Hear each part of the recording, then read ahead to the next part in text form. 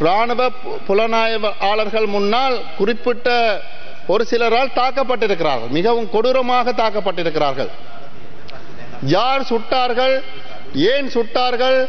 அவர்களுக்கு அந்த துப்பாக்கி எங்கிருந்து வந்தது?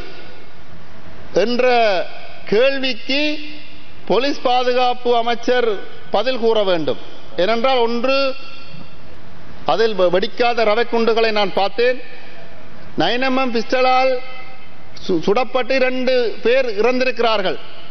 அந்த துப்பாக்கி யாருடையது? என்னுடைய பிரதானமான கேள்வி. அந்த துப்பாக்கி மன்னார் மாவட்டத்தில் யாருடைய துப்பாக்கியால் அந்த சூட்டுச் சம்பவம் நடைபெற்றது? இதைத்தான் நாங்கள் இரண்டாயிரத்தி ஒன்பதாம் ஆண்டு எங்களுடைய மக்கள் ஒரு லட்சத்தி நாற்பத்தாயிரத்துக்கு மேற்பட்ட மக்கள் கொன்றும் காணாமலாக்கப்பட்டும் அழிக்கப்பட்டிருக்கிறார்கள் என்ற விடயத்தை என்ற அந்த துயரத்தை மன்னார் நகரத்திற்கு சென்று மு- முடியவில்லை. நகரத்தில் வைத்து கத்தியால் குத்துகிறார்கள்.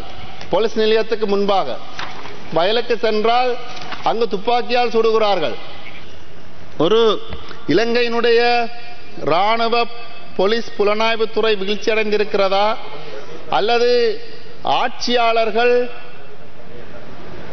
அடாவடித்தனங்களுக்கு துணை போகிறார்களா என்பது கேள்வியாக இருக்கிறது. இது இந்த இரண்டில் ஒன்றுதான் பொருத்தமாக இருக்க வேண்டும். ஏனென்று சொன்னால் அண்மையில் கடந்த ஞாயிற்றுக்கிழமை பதினேழாம் தேதி பாராளுமன்ற உறுப்பினர் செல்வராஜா கையேந்திரன் அவர்கள் தியாக தீபம் திலீபன் அண்ணனுடைய ஊர்தி ஊடாக சென்றபோது போலீஸ் இராணுவ புலனாய்வாளர்கள் முன்னால் குறிப்பிட்ட ஒரு சிலரால் தாக்கப்பட்டிருக்கிறார்கள். மிகவும் கொடூரமாக தாக்கப்பட்டிருக்கிறார்கள். அதை ஏன் போலீஸ் தடுக்கவில்லை என்ற ஒரு கே- கேள்வி இருக்கிறது. இன்று வரை அதற்கு என்ன நடவடிக்கை எடுத்தார்கள் என்ற கேள்வியும் இருக்கிறது. இதை மிகவும் ஒரு கண்டிப்பான கண்டனமாக நான் போலீஸ் அமைச்சரிடம் இந்த சபையில் பதிவு செய்ய விரும்புகின்றேன். ஒரு பாராளுமன்ற உறுப்பினர் போலீசின் முன்பாக தாக்கப்பட்டிருக்கிறார். மிகவும் ஒரு இன ரீதியாக எங்கட மக்களுடைய எங்கள் மக்கள் மீது இருக்கின்ற காழ்ப்புணர்ச்சியினுடைய வெளிப்பாடு தான் இது இருக்கிறது. அரசாங்கம் இதை தலையிட்டு உடனடியாக இதை தீர்ப்பதற்குரிய வழிவகையை செய்ய வேண்டும். அப்படி இல்லாவிட்டால் இதனுடைய தொடர்ச்சி மிகவும் மோசமாக இருக்கும். நாளடைவில் இன்னும் தாக்குதல்கள் அதிகரிக்கும். அதன் பிற்பாடு மிக ஒரு கொடூரமான சூழ்நிலையில் மக்கள் பாராளுமன்ற உறுப்பினர்கள் தள்ளப்படுவார்கள். அண்மையில் அனுராதபுரத்தைச் சேர்ந்த உத்திக்க பிரபரட்ட என்ற ஒரு அனுராதபுர பாராளுமன்ற உறுப்பினர் மீது கைத்துப்பாக்கியாலோ துப்பாக்கியால் துப்பாக்கி சூடு நடைபெற்றிருக்கிறது. யார் சுட்டார்கள் ஏன் சுட்டார்கள் அவர்களுக்கு அந்த துப்பாக்கி எங்கிருந்து வந்தது என்ற கேள்விக்கு போலீஸ் பாதுகாப்பு அமைச்சர் பதில் கூற வேண்டும். ஏனென்றால் ஒன்று இலங்கையினுடைய புலனாய்வுத்துறை வீழ்ச்சியடைந்திருக்க வேண்டும். அல்லது இப்படியான செயல்பாடுகளுக்கு ஆட்சியாளர்கள் துணை போக வேண்டும். இதுதான் அங்கிருக்கின்ற இரண்டு இரண்டில் ஒன்றுதான் சரியாக இருக்க வேண்டும். உங்களிடம் புலனாய்வாளர்கள் இல்லை என்று சொன்னால் புலனாய்வாளர்களை எங்களுடைய புலனாய்வாளர்களை உங்களுக்கு தருவதற்கு நாங்கள் தயாராக இருக்கின்றோம் மிகவும் திறமையான புலனாய்வாளர்கள் இருக்கிறார்கள். இரண்டு மூன்று நாட்களில் இந்த விடயம் யார் செய்தது என்னத்துக்காக செய்தது என்ற விடயங்களை கண்டுபிடிக்கக்கூடிய புலனாய்வாளர்கள் இருக்கிறார்கள். ஆனால் அதற்குரிய அனுமதி இல்லை. குறிப்பாக இந்த விடயங்கள் தொடர்பாக பாராளுமன்ற உறுப்பினர்கள் மீது நடத்தப்பட்ட தாக்குதல்கள் தொடர்பாக சபாநாயகர் உடனடி நடவடிக்கை எடுக்க வேண்டும். சபாநாயகருடைய செயல்பாடு இதில் மிகவும் காத்திரமாக இருக்கிறது. துப்பாக்கியால் சுடுகிறார்கள் வீதியால் செல்லும் போது தாக்குகிறார்கள். ஆனால் எந்த விதமான ஒரு பதிலும் இல்லை ஒரு நடவடிக்கையும் இல்லை.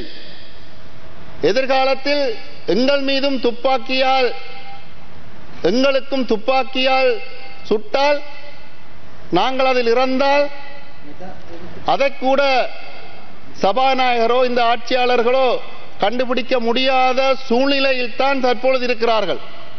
ஆகவே இந்த துப்பாக்கி கலாச்சாரத்தை உடனடியாக நிறுத்துவதற்கு நடவடிக்கை எடுக்க வேண்டும் என்பதை நான் இந்த நேரத்தில் கேட்டுக்கொள்ள விரும்புகின்றேன். அண்மையில் கடந்த மாதம் இருபத்தைந்தாம் தேதி கடந்த ஆகஸ்ட் மாதம் இருபத்தி ஐந்தாம் தேதி மன்னாரில் ஒரு துப்பாக்கிச் சூட்டு சம்பவத்தில் இரண்டு பொதுமக்கள் கொல்லப்பட்டார்கள். கடந்த மாதம் இருபத்தி ஐந்தாம் தேதி மன்னார் மாவட்டத்தில் விவசாய நடவடிக்கைக்கு சென்று வந்- வந்த இரண்டு நபர்கள் சுட்டுக் கொல்லப்பட்டார்கள். அந்த சூட்டுச் சம்பவத்தின் போது நானும் அந்த இடத்தில் சூட்டுச் சம்பவம் நடைபெற்றதன் பிற்பாடு நான் அறிந்ததன் பிற்பாடு நான் அந்த இடத்துக்கு சென்றிருந்தேன். அங்கு போலீஸ் போலீஸ் ராணுவ எஸ்டிஎஃப் உத்தியோகத்தர்கள் அந்த இடத்தில் பிரசன்னமாக இருந்தார்கள் பொதுமக்களும் இருந்தார்கள். இன்று ஒன்பதாம் ஒன்பதாம் செப்டம்பர் மாதம் பத்தொன்பதாம் தேதி ஆகிறது. ஆனால் இந்த துப்பாக்கி சூட்டுக்கு சம்பவத்திற்கு பின் யார் இருந்தார்கள் என்பது போலீஸுக்கோ அரசு ஆட்சியாளருக்கோ தெரியும். ஆனால் இன்று வரை எந்த நடவடிக்கையும் எடுக்கவில்லை. இன்று வரை எந்த நடவடிக்கையும் எடுக்கவில்லை. ஏன் எடுக்கவில்லை என்ற கேள்வி பொதுமக்களுக்கு இருக்கிறது. அதே நேரத்தில் இந்த மன்னாரில் இருபத்தைந்தாம் தேதி குறிப்பாக வின்சுலோவை குறிவைத்து சுடப்பட்ட அந்த துப்பாக்கி ஒரு நைன் எம்எம் பிஸ்டல் துப்பாக்கியாக இருக்கிறது. அதில் வெடிக்காத ரவை குண்டுகளை நான் பார்த்தேன். நைன் எம்எம் பிஸ்டலால் சு- சுடப்பட்டு இரண்டு பேர் இறந்திருக்கிறார்கள். அந்த துப்பாக்கி யாருடையது? என்னுடைய பிரதானமான கேள்வி. அந்த துப்பாக்கி மன்னார் மாவட்டத்தில் யாருடைய துப்பாக்கியால் அந்த சூட்டுச் சம்பவம் நடைபெற்றது? ஏன் இதை இன்றும் ஆட்சியாளர்கள் தாமதப்படுத்துகிறார்கள். பொதுமக்களிடம் ஒரு பல விமர்சனம் இருக்கிறது. ஒரு அரசியல் பலம் படைத்தவர்கள் அல்லது ஒரு பணபலம் படைத்தவர்கள் என்ன வேணுமென்றாலும் இங்கு செய்யலாம்.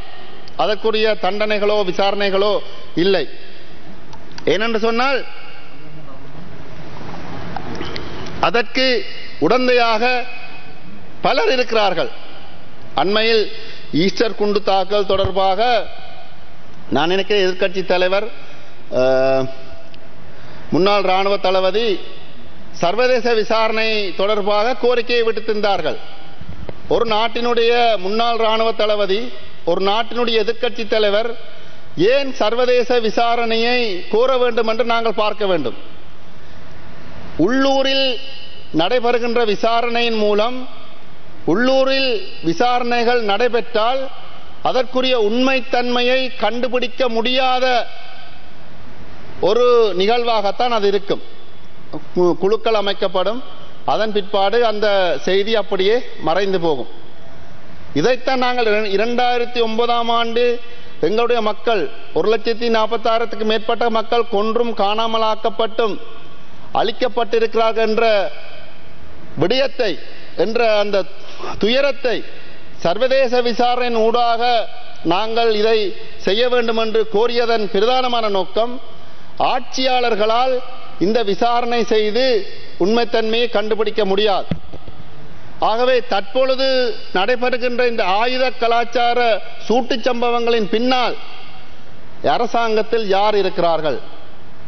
மன்னாரில் கடந்த ஆகஸ்ட் இருபத்தைந்தாம் தேதி வின்சுலோவை குறிவைத்து அந்த துப்பாக்கி சூடு நடைபெற்றது. சாதாரண ஒரு கட்ட துப்பாக்கி என்ன, ஒரு சாதாரண துப்பாக்கியால் அதை சுடவில்லை. நைனமம் கைத்துப்பாக்கியால் தான் அவர்கள் சுட்டிருக்கிறார்கள். அந்த துப்பாக்கி யாருடையது? ஏன் இவ்வளவு காலமும் கண்டுபிடிக்க முடியவில்லை? குறிப்பாக அந்த நொச்சிக்குளம் பிரதேசத்து மக்கள் மிகவும் அச்சத்தில் தங்களுடைய வயல்களுக்கு செல்ல முடியாமல் தங்களுடைய கால்நடைகளை கொண்டு தங்களுடைய கால்நடைகளை மேய்ச்சல் தரைக்கு கொண்டு செல்ல முடியாமல் மிகவும் அச்சத்தில் இருக்கிறார்கள். நான் நினைக்கிறேன் மன்னார் மேதகு ஆயர் அவர்கள் ஜனாதிபதியிடம் அவரிடம் முறையிட்டதாக எனக்கு ஆயர் கூறியிருந்தார். இந்த விடயம் தொடர்பாக நடவடிக்கை எடுக்கும்படி. போலீஸ் அமைச்சரிடம் முறைப்பாடு செய்யப்பட்டிருக்கிறது. இன்னும் இதற்குரிய சரியான பதிலை பெற்றுக்கொள்ள முடியவில்லை. சரியான பதில் கிடைக்கவில்லை. அந்த நொச்சிக்குள மக்கள் இன்றும் அச்சத்தின் மத்தியில் தாங்கள் வீட்டுக்கு வழியில் செல்ல முடியாமல் தங்களுடைய ஒரு சில பிரதேசத்துக்குள் வாழ்கிறார்கள். மன்னார் நகரத்திற்கு சென்று முடி மு- முடியவில்லை. நகரத்தில் வைத்து கத்தியால் குத்துகிறார்கள். போலீஸ் நிலையத்துக்கு முன்பாக. வயலுக்கு சென்றால் அங்கு துப்பாக்கியால் சுடுகிறார்கள். ஒரு சிறியண்ணன் சாரதி அவர்கள் மிருக வைத்திய திணைக்களத்தில் பணிபுரிகின்ற சாரதி வேலைக்கு சென்று திரும்பி வரும்போது அடித்து வாகனத்தால் அடித்து வேணும் என்று கொள்கிறார்கள். அது கொலை என்பதை போலீசே சொல்கிறார்கள். ஆனால் அதற்கு பின்னுக்கு இருக்கின்ற அந்த நபரை அந்த குழுவை ஏன் இன்று வரைக்கும் புலனாய்வாளர்களோ ஆட்சியாளர்களோ கைது செய்யவில்லை நடவடிக்கை எடுக்கவில்லை என்று சொன்னால் அவர்கள் அரசியல் பலம் படைத்தவர்கள் பணபலம் படைத்தவர்கள். இந்த விடயம் தொடர்பாக என்மேலும் அச்சுறுத்தல் வரலாம். என்னையும் தாக்கலாம். ஆனால் ஒரு கண்ணுக்கு முன்னால் ஒரு மக்களுக்கு அணியாக நடைபெறுகின்ற போது அதை இந்த முறைப்பாடு செய்கின்ற இடமெல்லாம் முறைப்பாடு செய்து எந்த விதத்திலும் பயனில்லாத போது இந்த சபையில் நான் இந்த நாட்டு மக்களுக்கும் இந்த ஆட்சியாளர்களுக்கும் கோரிக்கையாக வைப்பது என்னவென்றால் இதற்குரிய நடவடிக்கை எடுக்க வேண்டும். இந்த இரண்டு பாராளுமன்ற உறுப்பினர்களுக்கு ஏற்பட்ட சிறப்புரிமை தொடர்பாக சபாநாயகர் நடவடிக்கை எடுக்க வேண்டும். ஆயுத கலாச்சாரத்தை ஆயுதத்தின் மூலம் ஆக்களை தாக்குகின்ற சுடுகின்ற கொல்லுகின்ற செயல்பாட்டை இந்த ராணுவ போலீஸ் புலனாய்வாளர்கள் கண்டுபிடிக்க முடி- வேண்டும். அப்படி அவர்களால் முடியாவிட்டால் அதை எங்களிடம் தர வேண்டும். அதற்குரிய புலனாய்வா புலனாய்வாளர்கள் ஊடாக அதை இரண்டு மூன்று நாட்களில் கண்டுபிடிக்கக்கூடிய வல்லமை எங்களுக்கு இருக்கிறது என்று கூறி விடைபெறுகிறேன். நன்றி.